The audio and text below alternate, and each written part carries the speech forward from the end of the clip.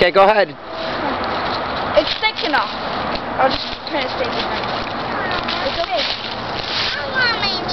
Keep going. I'm right Hold here. your sister's hand. I'm right here. Here. Come on. I'll be right here.